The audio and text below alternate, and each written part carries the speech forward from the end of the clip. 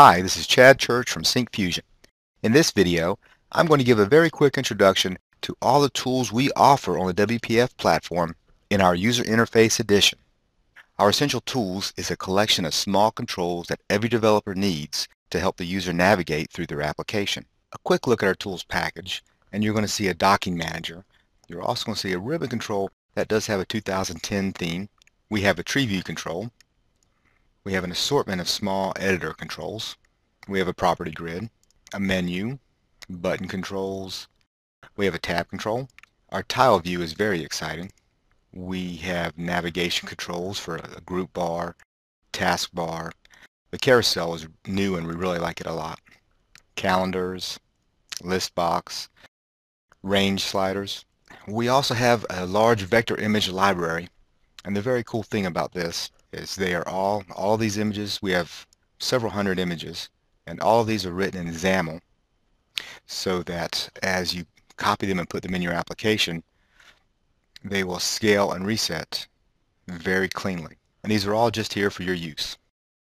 Our essential charts are basic business charting. We have bar, column, line, area. We have over 35 basic chart types for business applications. Our charts support multiple chart areas, and you can even resize the areas. Our chart axes can be easily changed. We support custom strip lines. You can define the labels for points, and we support empty points. You can drag a line between two chart areas. We support watermarks. We can do chart annotations. You can allow the user to move the legend at runtime. You can synchronize charts. Here I'm showing zooming and panning across six different charts. You can select point values by dragging a rectangle on the screen. We have custom print areas. We have a high performance chart and we have full support for heat maps. Our WPF grid is cell-based, so it can be fully customizable all the way to the cell level. And with that flexibility, we can get really high refresh rates.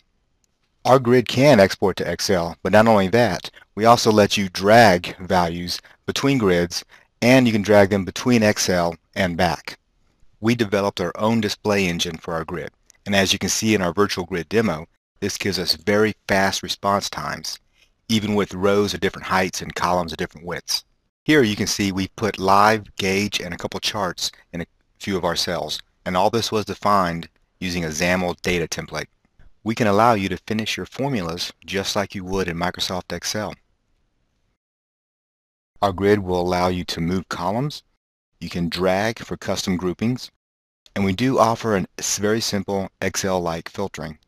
We do support stacked row headers, and by default, you can resize all rows and columns as well as do a multi-column sorting. You can define your custom summaries to be at the top of the group level or at the bottom of the group level. Our grid tree control can be data bound or it can be virtualized to give you a very high performance tree control.